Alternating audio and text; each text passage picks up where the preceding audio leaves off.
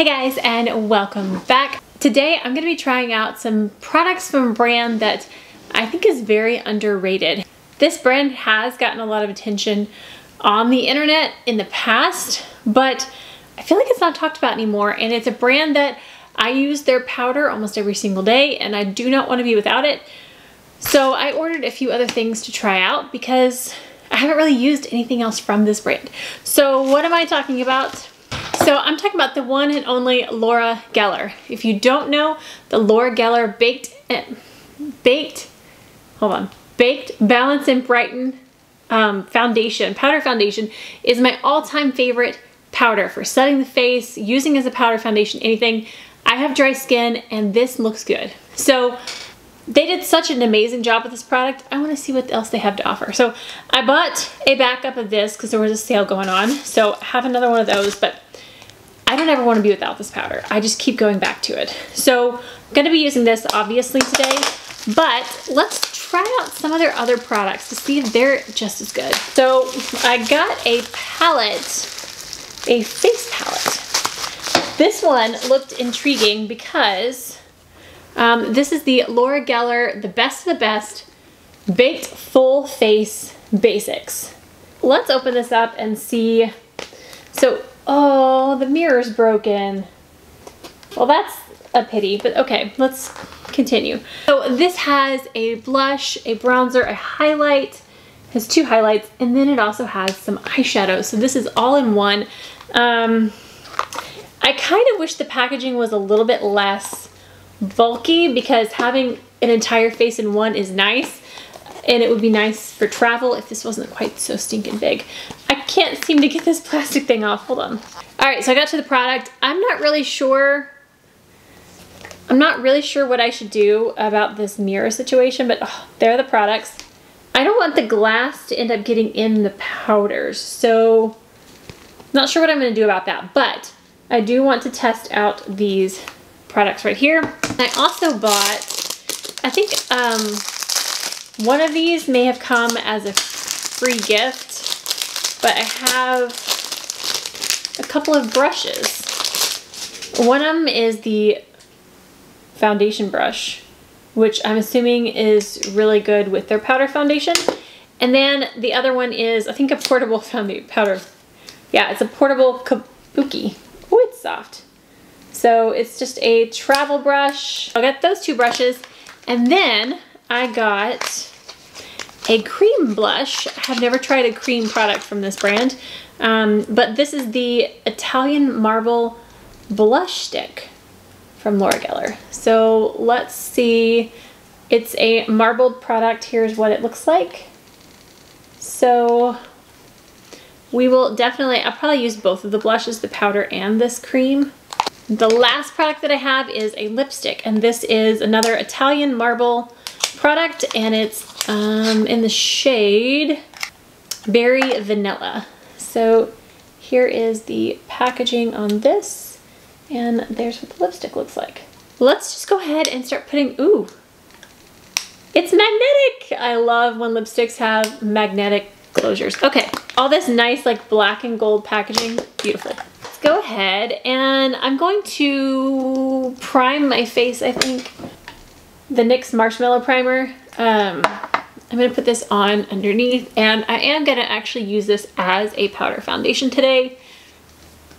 I normally use it to set my liquid foundations, but we are going to use it with its intended, as its intended method. I don't know, something. So I'm gonna put just a little bit of concealer on and then go on with powder foundation. I actually forgot to put this in my order for my Sephora order and I did not pick it up in the sale. So that one is almost gone. So I blended out that concealer. Now I actually, I'm curious and I want to try the blush on before I put the powder foundation on. Just because I do want to see how it blends out um, on cream or bare face. So I'm going to start whoo, like that. That is very pink. It's not a super glidey blush, like it had quite a bit of pull putting it onto the skin. Um, it's got quite a bit of pigment, but it is blending. It's really, really pink. This is like um, bubblegum Barbie pink. Not sure how I feel about that shade. Um, it is very pigmented, so putting the powder foundation on top of this is going to be a good thing. But let me show you the swatch right there. I mean, it's pretty, but you can kind of get different sections of it too and have different colors, but it's pretty. I just don't know that it's my favorite color. I blended it. I mean, it looks fine. It's fine. It's all good. Okay, so let's go ahead and put on the powder foundation. I This is something I know and love, and then we'll get to the face products and the eye. Um, I'm going to take this on my IT Cosmetics. I don't know what this is called. This was in a Christmas set years ago, um, but it's just a dense powder brush. And I'm just going to kind of stipple this on all over the face.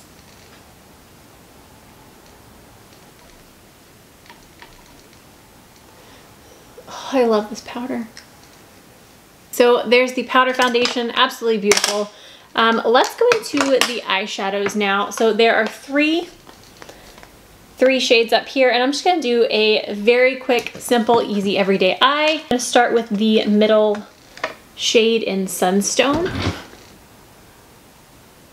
just going to quickly run that through the crease. And then I'm to take the deeper shade and just run it on the outer corner. It is a slight metallic, but um, it's not too shimmery. So you can use it easily on this outer corner. Kind of just dragging that onto the lid too. I'm just doing a very like messy, smoky look. I don't want this to be too um, precise. Kind of smudgy, easy, quick out the door. And then I'm going to take the Oyster shade on my finger and just tap that Oh, oh, that's pretty. On the lid. See, imagine if I'm using this kind of a product, it's gonna be when I want to do my makeup quick, don't have to think about it, and it's all in one, and it's a simple, simple everyday eye and face. So the eyeshadows worked beautifully for that. I will pull my hair down later. I look like a mess. Okay, so there was a little bit of kickback on those, but they blended beautifully. Love, love, love, love. Okay, let's move on to these fun products. I'm gonna swatch these real quick before I put them on my face. So let's start with the bronzer and the blush. Let's see, so here's the bronzer and the blush. They are very pigmented very pigmented. The blush is a little bit more peachy than the cream blush that I have, so maybe it'll balance it out. I'm gonna take the Complex Culture brush. I like to use this for bronzers and blushes, so I'm gonna take on this small end, dip it into the bronzer a little bit. I think it's pretty pigmented, so I'm gonna kind of tap it off on my hand first, and then lightly go on the face. Far, everything blends beautifully. Um, this bronzer shade is a little bit orangey for my skin tone and taste, but it's blending very, very easily. Let's try this blush. I'm gonna take a little bit just on the tip of this. Look how pigmented, that's insane. Let's tap some of that off. That is one thing. These products, oh my gosh, have a lot of pigment. They were not messing around. Diffuse it with the powder brush just a little bit. There's two bronzers. One of them looks more blinding than the other, so let's see.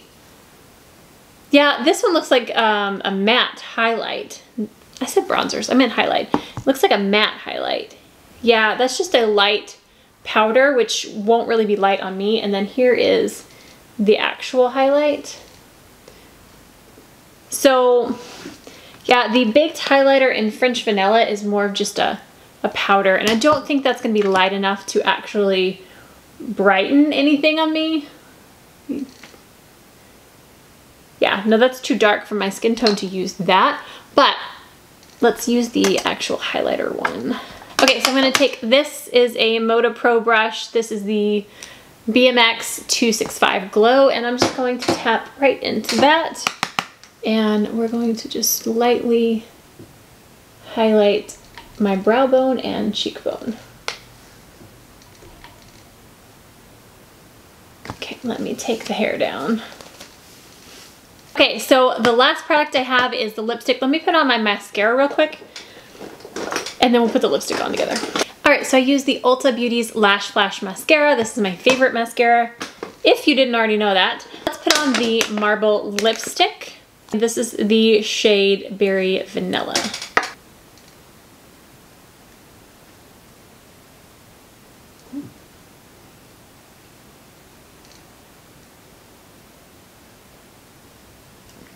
Everything is very, very like Barbie pink toned. And I don't know if that's just the shades that I picked. But that is pink. I like the smoothness of this lipstick. It is, again, kind of like the blush. There's a little bit of a pull to it, like it's a, a stiffer formula. But when it's on the lips, it's very um, silky feeling. I don't know if this cool tone lip goes with the warm tone eye so much, but the formula itself was very nice. Let me see if I have something that can tone it down. Take a tiny bit of the NYX Filler Instinct. This is more of a warm tone and I'm just gonna put it right on top of that. All right, so there is my face of Laura Geller products. I've just gotta say, if you have dry skin and you haven't tried this powder, this is my number one pick for dry skin. I have obviously tried very, very many. I've obviously tried quite a few powders doing what I do. I've been testing makeup for seven years now. I've tried a lot of powders and a lot of them just either look dry, look, feel heavy. This just, my skin feels like it, it sounds weird, but like it can breathe. I don't even know what that's supposed to mean. It's just an expression, but it just feels um, nice and natural and not it looks so stinking smooth. Can you see this? It just looks so smooth on my dry skin. It's saying something for powder to be smooth on dry skin. So I am not wearing a foundation except a powder foundation. That for me, and I haven't used a setting spray either. Like that's just crazy for me. So if you have dry skin and you haven't tried out Laura Geller, I highly, highly recommend at least trying out this powder foundation. I do like this. I kind of wish the packaging was a little bit different. I find it to be just a little bit bulky. Um, it kind of reminds me like the Physicians Formula packaging that has been bulky. I just, I wish that this could have been in a little bit slimmer of a package, container, something. I wish I could take these out and put them into something else. I wonder if I can. I wonder if I can put these in a Z palette. Are they, they're baked so they're dome. I wonder if they're too tall. I mean, that's probably why the packaging is the way it is, but I'm rambling now. I do enjoy this. I'm gonna keep using this when I wanna do my face really fast, all in one. Know that everything goes together and looks good. This is a wonderful option. Um, the other two products though, the lip and um, blush, I don't know how much I'll reach for them. That's not the blush. Um, I think the color is fine. It's a little bit too Barbie pink for me. They are both about the same color. That was just color choice on my my end. This is the colors I picked. Um, but I will probably use this. I just didn't use the brushes because I don't like to use them until they're washed. So, but I will probably end up using this for their powder foundation because it seems like it's a nice, I like the size of it too because you could get easily in the smaller areas too. So um, this one, I'm not really sure. It's a much looser one, so it might be for like a light application of powder. I'm not really sure what I would use this one for. It's an odd size and density for me. I think this was the one that came free. I'm not sure. But retractable kabuki, kabuki brush. Kabuki, kabuki brush. Anyways, the star of the show is definitely the Baked and Balanced, bal baked, bal shoot, the Baked Balance and Brighten Foundation. Uh, if it is still on sale, I will link their website. Well, I'm gonna link their website below anyways, but I got this a few weeks ago, so I doubt it's still on sale, but if it is, um, I will write that in the description below. So you can hopefully get it on sale. So that is gonna wrap it up for this video. My next one is going to be my Sephora haul. I did end up placing an order in the Sephora sale. I almost didn't, like I almost forgot. I don't really know what happened there. And I was like, I don't actually need anything. But then I ended up buying, you know, a couple hundred dollars worth of stuff. So I have an order coming. It should be here in a few days. I will get that video up as soon as I can. Um, that's gonna be it for this one though, guys. If you have any recommendations for future videos, please leave those in the comments below. That's it for this one, guys. Thank you so much for watching. If you did enjoy this, please give it a thumbs up. And if you haven't already and you wanna see those future videos, hit that subscribe button down below. And I will see you guys next time. Stay gorgeous. Bye. I'm talking about, where's my makeup? Almost. Almost. I see a design flaw.